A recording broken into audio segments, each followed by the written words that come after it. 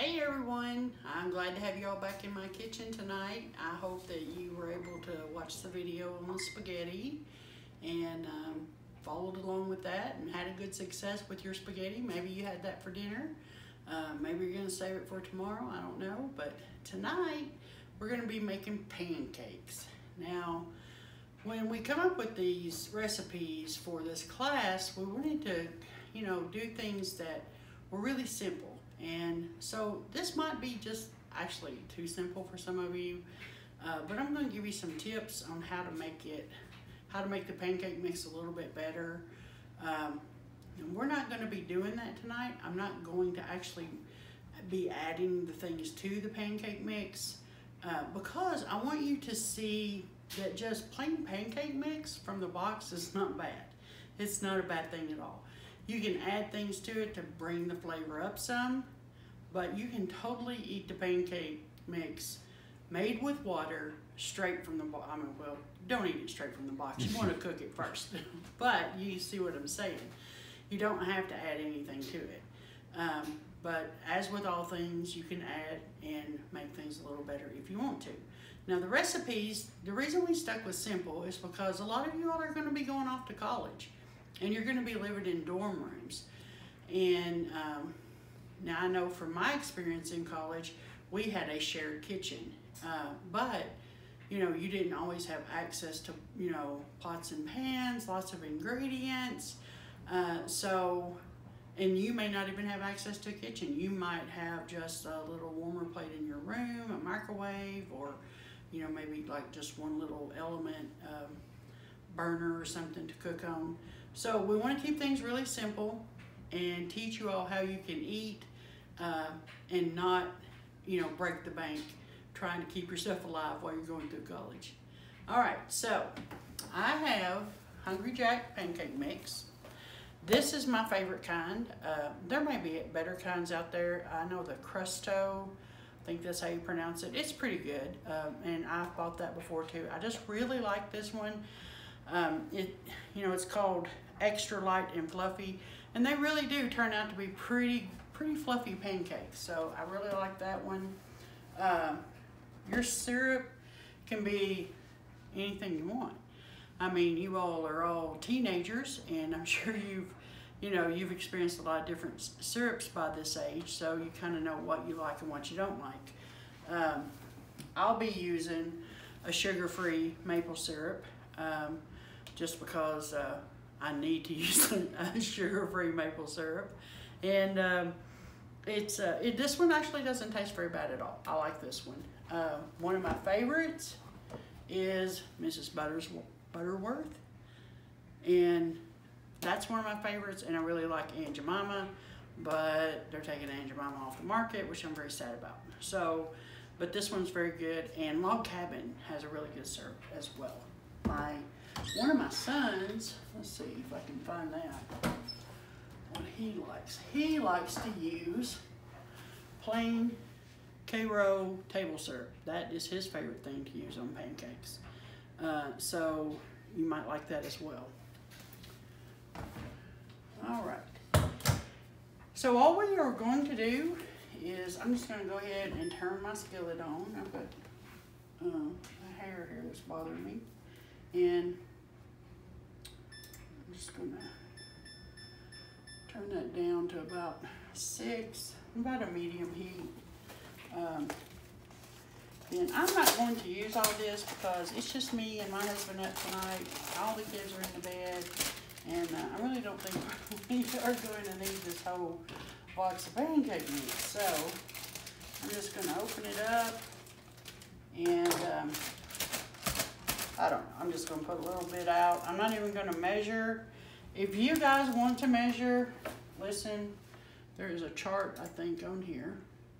Yes, so six to eight pancakes. You have one cup of milk, uh, three-fourths cup of water, and then if you want 12 to 16 pancakes, you go two cups mix, uh, and then you have one and a half cups of water. Oh, that wasn't milk, that was mix, sorry. I can't see, I don't have my glasses on. But you can see. So And then that's one of the things you can substitute. If you don't want to use water, you can definitely use milk. So we're going to talk about that in just a minute. But I'm just going to use water because when I'm in a hurry, that's what I use is water. And we're trying to keep this cheap. And you probably are not going to have access to a whole lot of milk when you're in a dorm room. Unless you make that a priority. All right, so I've got just a little bit here. It's not, I don't know, that's probably like a cup and a half, maybe, maybe two cups, but not quite, I don't think. Okay? And the reason I didn't measure is because I want, want y'all to see how um, I mix mine up. I just like go by sight. So we're gonna come over here to the sink and I'm just gonna turn my water on. And guys, I know this is not a scientific, methodical way of creating pancakes, but this is Cindy's way of doing it, and it always works. So I just put it under there. I get a little water, stir it. Can already tell that's not to be enough. A little more. I'll stir as I go. That might be enough. Yep, believe that's going to do it right there. And if I get it too thin, I'll just go back and add a little bit more mix. So, but that is, that's not bad. Now, I don't want to stir this a lot, okay? I just want, I want to get those biggest lumps out of there, so I might squish them up to the side there, like that. Um, usually I'm fixing so much more pancake mix than this. So, this is a little thin for me. I am going to add a little bit more mix in there. So just come back over here. Add me a little bit.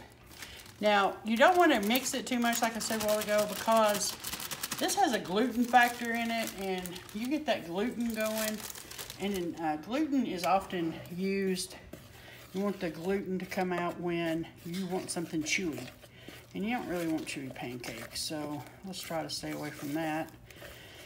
And uh, anytime you over stir something like this, it'll get a little tough. You don't, you just want this barely stirred. And the more you stir it too, the more your air bubbles will deflate and you don't want that because you have uh, baking soda in here and it's creating like little air bubbles. You can see like the little air bubbles in there. I can go through and pop them. I don't really want to though because um, that's going to make my pancakes light and fluffy. So that's about the consistency I want. You see it's thick and globby like that. That's a pretty good consistency for pancake mix. You don't want it just to run off your spoon. You want it to have leave a nice thick coating on your spoon, but to also not just stick to it like bread dough, okay? So I'm gonna come over here. That's already getting pretty hot. Uh, you all probably already know this, but just another little tip. You can always put your hand right here and tell if your skillet is pretty hot because if I can hold my hand here for like five seconds, my skillet's not real hot. Um, so it needs to get a little hotter. I'm just gonna turn it up a little bit. I have this burner that this is on right now. Um, I'm not gonna use a cuss word, but I'm gonna say, I'll tell you what I call it. It's the burner from Hades. And this thing will just like, oh my gosh, it just gets so hot really, really quick. And sometimes it wants to psych me out and like I'll try to be really good and keep it down on medium heat and it takes forever for it to heat up. And then all of a sudden it's like uh, an inferno. So now I can already feel it's getting, it's getting pretty hot now. I feel that, that temperature coming up. All I'm gonna do uh, is get my butter spray for one thing. There's some right there. Better get this one, that one's almost empty. Okay. Shake your butter spray good. I have to get on my boys all the time for not shaking the butter spray. They gotta shake it and spray your pan. Okay. All right. Now, this is a, excuse me, this is a newer skillet. Uh, and it is Calphalon, so it's non-stick probably wouldn't even have to use any spray, but I'm just so used to it, I just go ahead and spray it anyway. I bet on the rest of them, though, I probably won't even have to use any spray. So, That's good and hot, and you want it to be hot. Your, your surface needs to be hot.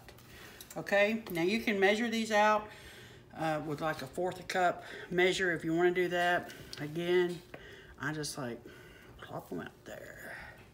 And we like ours little. We like the little ones. You can make a great big one if you want to. I, I like to do that way every now and then. Just make a great big old pancake. But for the most part, we like the little ones because we like the edges. You got more edges when they're little. All right, now you're just gonna let that sit there. Be patient. And you will see it'll start to form bubbles. You can see some bubbles popping right now. Keep hitting that. And you want it to form several bubbles, like you can see them coming up around the edge here. Um,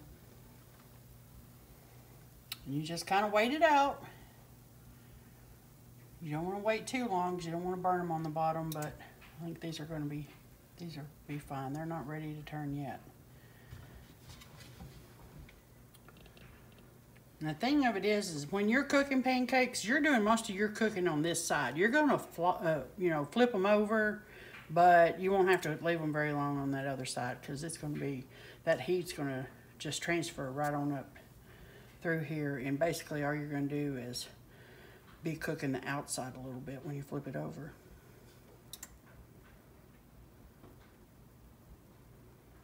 Now let's talk about while this these are cooking, let's talk about uh, um, things that we could have done differently about adding them in there. See that is not quite quite enough. So I'll go ahead and leave it flipped though because I already flipped it. Um, we could have sifted our flour. That would have made it lighter, our mix, uh, by using a sifter. My husband seems to think that I don't know where our sifter is, and he didn't even know we had one. But he's not always in the kitchen with me. Uh, we do have a sifter, and actually, pretty sure, I hope I'm right, I can show him right where it's at. I have two sifters, babe. I, I can get them out. I have a little sifter and a big sifter, okay. okay? So that's just like a one cup sifter. This one here, I don't know, it's like three cups, I think. Um, and this isn't really something that you want to wash a lot because it will rust. Now let's go back over here real quick. Now you see how that is looking now. It's, it's puffed up. It's got bubbles, a lot of bubbles. So we're gonna go ahead and flip that. You see that's nice and golden colored. Flip that one, and you can even see this one. The bubbles have already popped and that's already done on that side right there, on that little edge there. Okay? And this is probably already done. Because we flipped her early. Plate that up. And those will take just a minute here. Okay, so another thing we could have done. We could have added vanilla or almond flavor to our pancakes. That's good. Um, vanilla, vanilla's good in just about anything sweet. Um, almond, I mean, you know, it depends on if that's what you like or not. Um, I like almond. I don't think I've ever put it in my pancakes, but you could. Um, you could even put banana flavoring in there if you wanted to. All right, so now another way we could have made them better is we could have added an egg. I would have added about an egg to what I had here. It'd be about an egg per cup. And um, that heat back up for just a minute. Um, so, you know, you could do that different ways. You could do the egg, just put the egg, the yolk, and everything in there.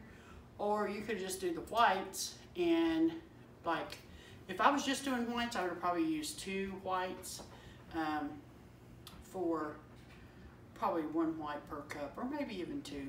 But whip them up really good because your whites get really airy. And then uh, that's how you make, you can make meringue out of uh, egg whites and you can make uh, like whipped cream, or not whipped cream, uh, whipped topping out of egg whites. And just fold it. By You would do that, you just fold those egg whites into your batter uh, and it would make it really light and fluffy. That's how a lot of uh, people do low carb pancakes, they'll do the egg whites and whip them up really good and then fold it into the batter to make the pancakes rise a little more because almond flour does not rise very well. All right, we got four more there. I'm trying to think of other ways that you could have made those a little better. Oh, buttermilk. We could have used buttermilk instead uh, of whole milk. Well, you can use like low milk too, like low fat milk, but most people, you know, most people around here that I've seen drink whole milk. Uh, my family thinks they have to have whole milk. I like 2% milk, I'm fine with that.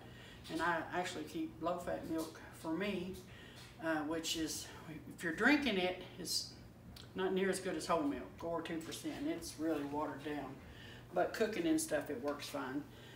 Um, so what you would do to create, uh, oh, if you didn't have buttermilk, because a lot of people don't like buttermilk, but it's really good to cook with, and it's really good to cook pancakes with because the acidity in it, um, what that does is it reacts with the baking soda that's in the pancake mix and creates more bubbles. Kind of creates like a little air explosion in there and it makes it really fluffy. So, you you know, you've heard of buttermilk pancakes. Well, that's why they put the buttermilk in there. Make them fluffier. Right, these are all ready to turn. See, they're done around the edges. That's that's what you're looking at really, is how well done around the edges and how formed it is. Kind of looks, oh, I messed that one up. That's all right. Let's put that baby back over there. That'd be yours, Elton. and flip that thing. No, I'll eat it. I'm just joking you. Um, so, to make buttermilk, I was going to show y'all how. And make sure I don't burn my pancakes there. I'm going to go ahead and put this up or I'm going to knock it over.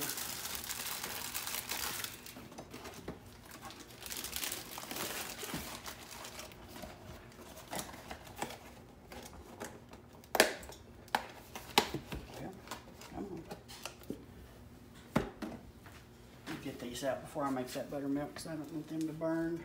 Like I said, once you flip them babies, it don't take no time on that second side.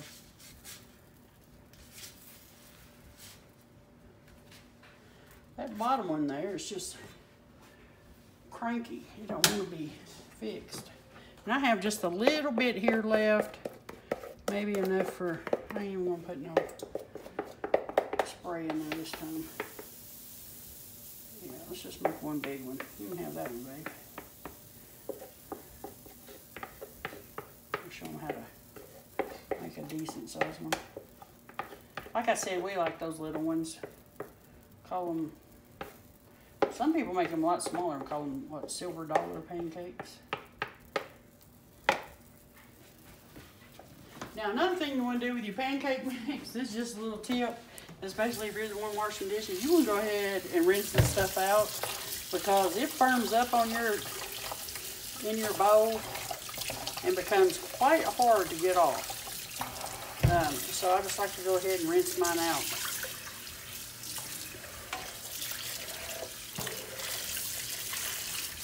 All I'm doing is just rinsing the worst of it out. I'm not trying to wash it with my hands, so don't be concerned. And I did wash my hands before we started tonight. I just didn't get that on video. All right, so that's cooking up good. So what I'm gonna do to make some buttermilk instead. And like I was saying, a lot of people don't keep buttermilk on hand because they don't like the taste of it, but it's really good to cook with. And if you find yourself, you have a recipe and you need buttermilk, here's a quick way to do it. So you just take like, um, you can use low fat milk or whole milk, and just get you a cup of milk.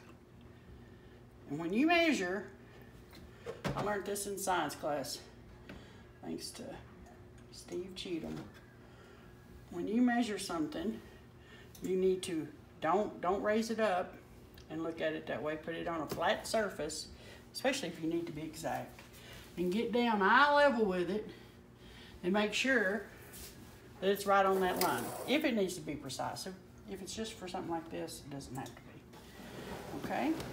Now, I had a cup out to put that in, but I can just do that in here. I'm gonna use, I don't know if that thing comes off or not. I'm gonna use this lemon juice. First, we're gonna flip this pancake over. See how many bubbles that thing's got in it? Now that's a really good example to show you when that's ready to be flipped. How that's dry around the edges. It's got all those bubbles on it. See, that's, that's still good and brown. It's not too brown. And I need a tablespoon. Because I'm going to put a tablespoon of lemon juice. Try to.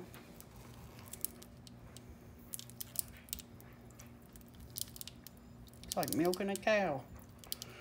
Milking a lemon.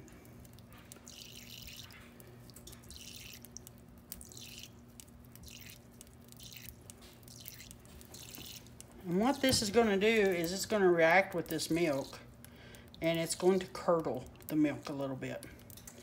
Now it's not going to affect the milk in the recipe. Okay, so don't worry like you're going to have little curdles in there. And I'm just going to put that in there, stir that up. And that'll take about five to 10 minutes to uh, set up. I'm going to go ahead and get that pancake out, turn my stove off the pancakes are done. And uh, I wish I did that sooner so I could show you all, but I promise you in about five to 10 minutes, that's gonna thicken up. And not real thick, it won't be just like buttermilk, but it will be thick and it will have a little curdle to it. And it will not affect, the, your pancakes are not gonna taste like lemon, I promise you.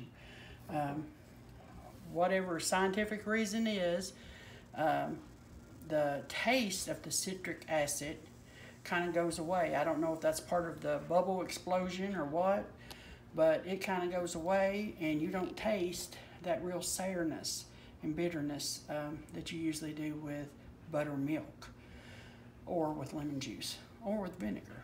You can also use white vinegar instead of that. Another way to make it is if you have yogurt, um, just plain yogurt, you take plain non-fat yogurt. I guess it could have fat in it if you wanted to because buttermilk's got fat in it. Uh, I just always keep the non-fat. And you take like uh, three-fourths a cup of yogurt and water that down with a fourth a cup of water. And that will work as buttermilk substitute as well. So um, that's about all the tips and tricks I have for you. Um, if you guys have any questions, you can definitely email me or text me and I'll be happy to answer.